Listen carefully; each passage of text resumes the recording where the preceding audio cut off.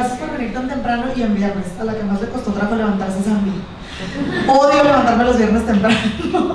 es súper difícil, pero para venir a platicar con ustedes, la verdad es que eh, muchísimas gracias a Creative Mornings por invitarme. Es un honor. Me encanta poder venir a compartir lo que he aprendido en estos años en, en Bebé to Go. Antes de empezar, les cuento un poquito de mí. Eh, yo soy de Hermosillo, Sonora, por si me escuchan el acento un poco bronco. No estoy enojada, así hablo. y eh, hace seis años, junto con Salvador Califa, que es mi socio, fundamos bebetubo.com, que es una tienda online que vende productos de bebé en todo México. Eh, somos la única tienda de productos de bebé Pure Player o que solo vende productos de bebé online. Y si tienen sobrinos, no tienen que tener hijos, pueden tener sobrinos o alumnos, no sé, que les quieran dar un regalito. Eh, pues bueno, los invito a entrar. Pero no vengo aquí a platicar de Bebé to Go, vengo aquí a platicar de, pues de curiosidad y de emprendimiento y, y de las curiosidades de emprender. Para ustedes, eh, que alguien me diga qué es curiosidad. Despierten. Seguir aprendiendo. ¿no? ¿Seguir aprendiendo? Muy bien. ¿Alguien más tiene un comentario? que Tener interés. Tener interés, Saber por qué. saber el por qué, A mí- por explorar. Un deseo por explorar y, si quieres, eh, ¿quién conoce este? Eh, ¿Lo ven? Es el Cu- Curiosity Rover. Eh, es el, el aparatito este que mandaron a Marte a explorar, ¿no? A el deseo de saber más sobre Marte, el deseo de ver si Marte podría ser un lugar para nosotros para vivir, eh, el porqué de los materiales que hay en Marte, etc. Eh, lo puse como, como ejemplo y, y ahí las, las, el significado de curiosidad que me dio mucha risa porque este es el, el significado que viene en Google. No sé de dónde saca, traté de buscar en, de qué diccionario Google sacaba sus, sus definiciones, creo que es el Oxford, pero es el deseo de saber o averiguar una cosa, o me encantó este porque es como un chisme, es el deseo que tiene una persona de conocer o averiguar un asunto ajeno que no le concierne o es de su incumbencia. Entonces, sí se vale ser chismoso, según Google, si eres, si eres curioso. Ahora, es- veamos si es políticamente correcto o no. Pero bueno, eh, les vengo a platicar del, del, del- ¿Le pueden dar a la siguiente, please? Eh, de pues, las curiosidades que me hubiera gustado, las curiosidades que me han surgido durante estos seis años de haber emprendido eh, y se las quiero compartir porque a mí me hubiera gustado que alguien me las dijera antes de emprender. Muchas veces eh, no nos dicen, te dicen, ah, tienes una idea, ve, ejecútala, increíble, te va a ir súper bien, padrísimo que vas a trabajar para alguien más. Pero, y esa es la típica, no, es que quiero tener más tiempo. No es cierto. O sea, si van, a, si van a emprender, no van a tener más tiempo, por lo menos al principio no. Después, cuando su empresa se estabilice o su proyecto se estabilice, es posible que puedan tener más tiempo, pero no es lo normal. Cuando dejas, de hecho, en mi experiencia, yo trabajaba en una startup antes de emprender. Y la razón por la que decidí emprender fue porque dije, si ya estoy trabajando 14 horas al día por alguien más, pues mejor las trabajo por mí, ¿no? Nunca fue un, un pensamiento de, es que quiero más tiempo para mí. Sí, si tienes más flexibilidad, a lo mejor tú te puedes poner tu horario al principio, pero después llega un momento en el que si tienes un equipo, pues también les tienes que dar un poco de orden a ellos y no puedes estar eh, tú teniendo el horario que tú quieras, ¿no? Eh, la otra, me encanta, quiero tener más dinero. la verdad es que si quieres emprender, yo no creo que, digo, no, de- o es importante pensar en el dinero porque es un muy buen eh, incentivo, pero en realidad tienes que estar apasionado de lo que, de lo que vas a hacer. Y, no, y al principio no vas a tener dinero. Es muy difícil que a un emprendedor le vaya bien desde el principio. Hay a quienes les va bien desde el principio y pues qué increíble. Pero no a todo el mundo le va bien. Entonces yo les diría que si van a emprender o si van a tener un negocio propio o, se van, o van a dejar de recibir un sueldo fijo, ahorren, establezcan un plazo del dinero que necesitan para vivir cierto tiempo sin ese dinero, porque no saben, es incierto las ventas que van a tener al principio y es incierto si van a poder eh, ustedes cubrir sus necesidades y tampoco se trata de emprender y ser infeliz, ¿no? Si alguien está acostumbrado a cierto estilo de vida, pues la idea sería que tuviera ese mismo estilo de vida si emprende. Y después, uno mejor. La idea es que sí, cuando emprendes, después tengas más dinero y te vaya mejor. Eh, y otra cosa muy importante que yo siempre platico con la gente que quiere emprender es que eh, esta, este círculo vicioso de eh, gano dinero, me lo gasto y luego no sé cómo voy a reinvertir en el negocio. No debe de ser así. O sea, yo creo que es muy importante que desde el principio estipulemos cuánto va a ser nuestro sueldo en nuestro negocio. Porque el resto del dinero es para que el negocio siga creciendo, para poder generar empleos, para poder hacer que realmente suceda y entonces sí, después podamos tener más dinero en base a las utilidades del negocio eh, y si quieren además su sueldo, ¿no? Porque al final es muy importante distinguir que cuando tienes un negocio, sí es tuyo, pero además tú eres empleado de ti mismo, ¿no? Entonces te, tienes que remunerar. Eh, bueno, ¿y, ¿y, cómo se te ocurrió? Siempre te preguntan, es que ¿cómo se te ocurrió esa idea? A mí me ocurrió mi idea, se le ocurrió a mi socio. Yo creo que no necesariamente se te tiene que ocurrir algo para que te animes a emprender. Eh, emprender es, es, un camino difícil y si alguien tiene una muy buena idea que tú te quieres sumar, no tiene nada malo, ¿no? Y se los digo en experiencia propia. La idea que yo tuve, eh, perdón, la idea que tuvo mi socio eh, es una tienda en línea para vender productos de bebés en México. Esto es 2012 cuando Linio todavía no ha empezado a operar en México, mucho menos Amazon ni Walmart.com, pero se escuchaba no sé ni dónde, que venía la burbuja del Internet a México. Y, él dijo, bueno, pues ¿por qué no? Eh, él está embarazada su esposa y se dio cuenta que en México la, la, demanda de productos, perdón, la oferta de productos era como muy limitada, no había colores, no había variedad, no había buenos precios y decidió que el mercado de las mamás con eh, embarazadas era muy bueno y en vez de abrir muchísimas tiendas, pues ¿por qué no en línea y atacar a todo el, país? Entonces nosotros pues, ofrecemos este, productos variados, seleccionados con mucho cuidado para que las mamás de todo México puedan tener los mejores productos para su bebé y tratamos de cuidar que los precios sean competitivos porque entendemos que mucha gente quiere ir a otros lados a comprar las cosas de sus bebés, entonces eh, ese es el tema. Pero lo que yo les recomendaría es, no se esperen ustedes a tener una idea, vayan, exploren, sean curiosos, porque tal vez alguien puede ser su socio que ya tiene una idea y ustedes son el complemento perfecto para esa persona. No necesariamente ustedes tienen que tener todas las herramientas para emprender. Pueden encontrar un equipo que inclusive ustedes consideren mejor que ustedes para que les ayude a ejecutarlo. O pueden encontrar a alguien que tenga una idea y no sepa cómo ejecutarla y sean ustedes quienes les diga cómo hacerlo. Entonces yo les diría, eh, eh, para mí es un mito esto de que se te tiene que ocurrir algo. Tú puedes encontrar a alguien que se le ocurrió algo y ejecutarlo con esa persona, así como lo hicieron. Eh, otra, otro tema que, que, a mucha gente le da curiosidad y no sé si lo, si lo han escuchado es como, ¿y qué vas a hacer? Y, es como, no, no te voy a contar porque me van a robar mi idea. no, nadie les va a robar su idea. Y si se la roban es porque es muy buena. Pero aquí el que ejecuta bien primero es el que gana. Entonces, no tengan miedo. Cuando nosotros empezamos, un muy amigo de mi socio estaba haciendo exactamente el mismo proyecto. Eh, y nunca fue motivo de no hacerlo eh, la, esa tienda ya se unió a otras y eh, al final nosotros nos quedamos solo como una tienda sola, pero yo no eh, vería como con, miedo el contar su historia. Al contrario, entre más cuentes, más te acercas a lo que necesitas. yo todo el tiempo estoy diciendo los nuevos proyectos que tenemos y, y siempre sale alguien que me dice, yo conozco a tal persona que te podría ayudar a resolver eso. O sí, yo conozco a tal persona que tiene un proveedor que te podría ayudar a resolver esto. O, ah, mi amiga es influencer y está embarazada. Entonces, yo los invitaría a contar su idea. Al final, mientras no la ejecutes, sigue siendo una idea.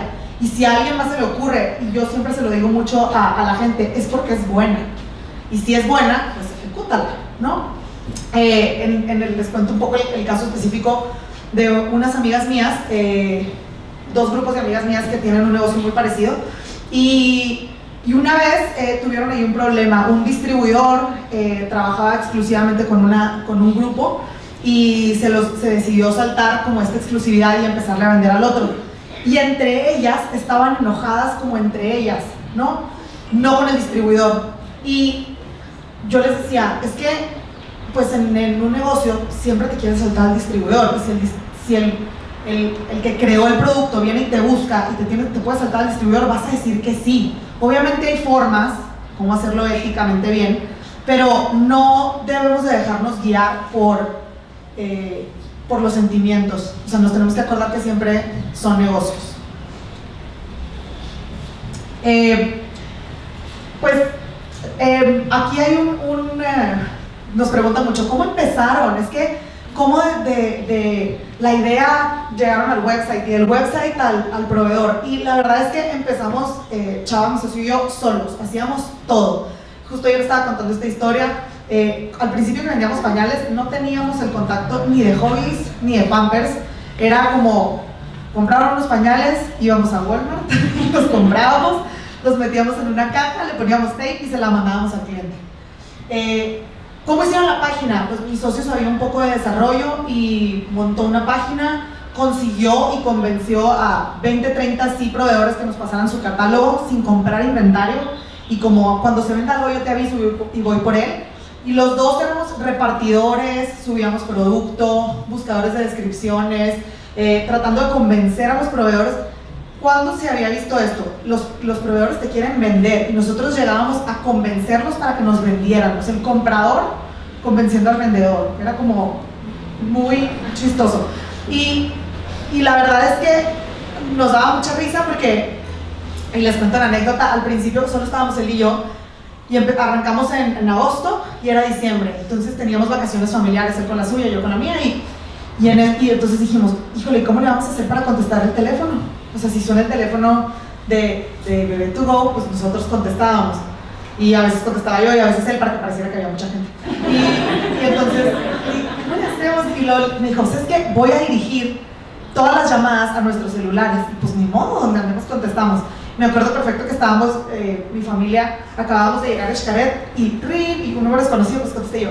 Aparte contestaba yo, bebetubo.com, buenas tardes, y a lo mejor era una amiga, ¿no? Pero, y me dice, y me dice el cliente, eh, empieza a pasar, o sea, una hora estuve sentada en una banquita en Xcaret, mi familia ya nadando con pececitos y así, y yo, eh, eh, sí, claro, con mucho gusto. No me acuerdo quién le robé el celular de mis hermanos para entrar a la tienda, porque la tienda estaba en el, en el celular y ayudarle al cliente y pues ni modo, ¿no? Así se empieza. Entonces, pues ¿cómo se empieza? Así, haciendo tú todo. Y es la recomendación que, que yo les haría, que no tengan miedo a meter las manos hasta, hasta adentro. Eh, mi background, por ejemplo, no es en, ni en, ni en, o sea, yo no estudié administración de empresas, ni finanzas, ni marketing, que es lo que hago en el negocio. Y metiendo las manos fue como aprendí.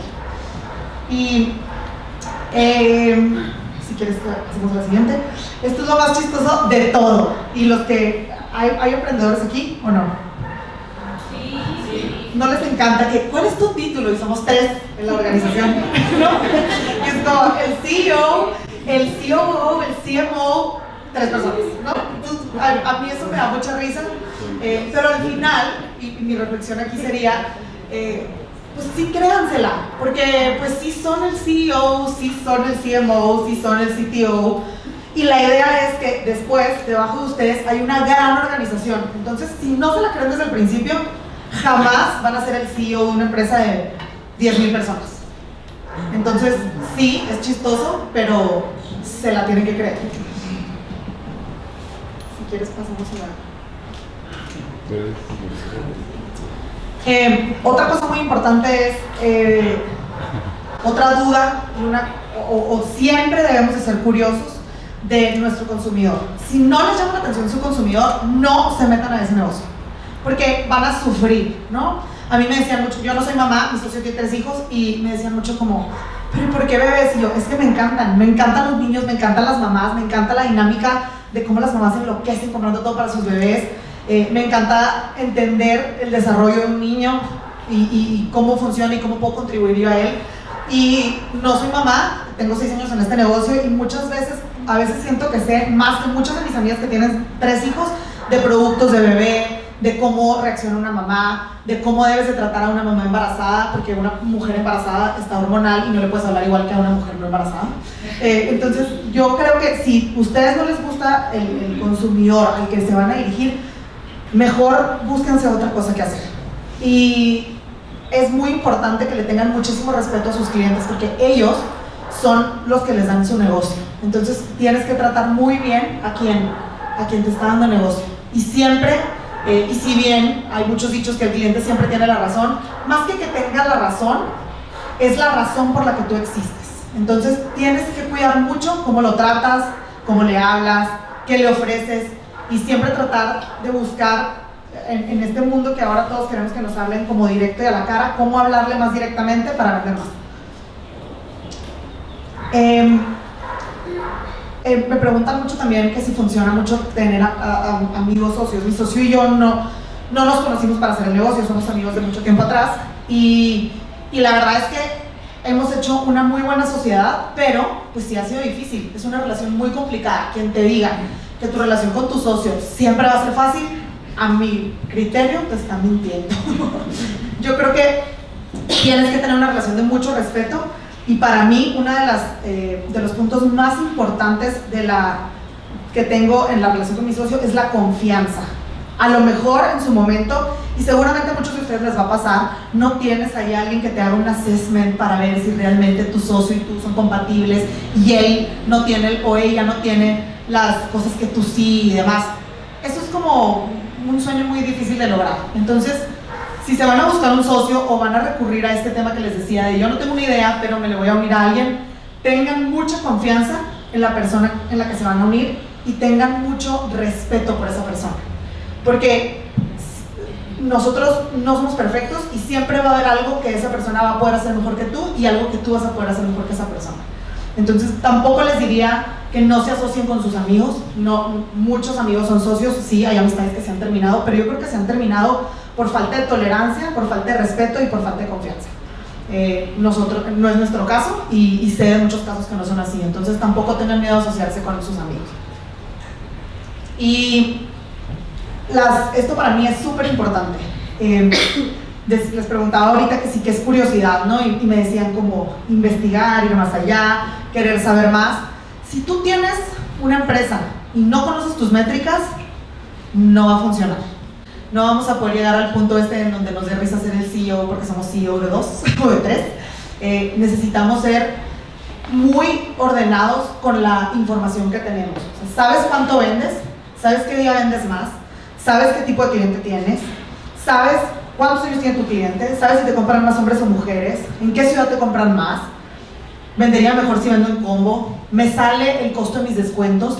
Porque de repente, ah, sí, descuento, oferta. Y a la hora de la hora, pues no, tu margen no da para que des esos descuentos y entonces no te sale tu negocio y, no se puede, ¿no? Entonces yo, les, yo los invitaría, aunque, aunque no les gusten los números, a encontrar a alguien para su equipo que le guste los números y empezar a definir métricas que ustedes vayan midiendo diariamente, semanalmente, mensualmente, dependiendo de su tipo de negocio, porque ir hacia atrás en esas métricas es lo que les va a permitir ver su crecimiento, es lo que, o si van hacia abajo, también les va a permitir entender mejor a su consumidor, cómo crecer más, cómo realmente analizar lo que tienes, ver si tus costos sí son menores eh, que tus ingresos, porque muchas veces en este círculo vicioso en el que yo he visto mucha gente que eh, no me pago, pero entonces entra dinero y me lo gasto en otra cosa porque yo y la empresa somos uno mismo, no es así, así no van a llegar nunca a tener una empresa grande. Yo los invitaría a tener muchísima curiosidad en los números que su negocio genera. Y sería eh, para mí una de las, uno de los más grandes aprendizajes en, en esta empresa. Eh, el, el haber tenido una curiosidad grandísima por ingresar a ver las ventas diarias. Eh, yo era encargada de revisar Google Analytics todos los días para ver cuántas visitas habían entrado al sitio, eh, cuál era el porcentaje de conversión, a qué página entraban más, de qué lugar se estaba generando más venta. Y eso te ayuda a permear una estrategia que va a hacer que tu negocio crezca.